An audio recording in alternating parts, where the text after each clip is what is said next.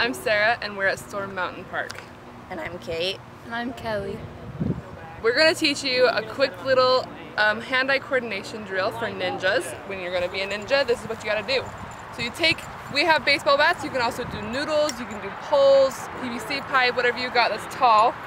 Um, you're going to stand in a circle with your, your team and you're going to count together going one, two, three, and then on three, you're going to rotate to the next pole or baseball bat for us. And the goal is to not let the baseball bats drop. One, two, two three. Okay. One, two, three. One, two, three. One, two, three. Okay, so to increase difficulty, you all can take a couple steps back.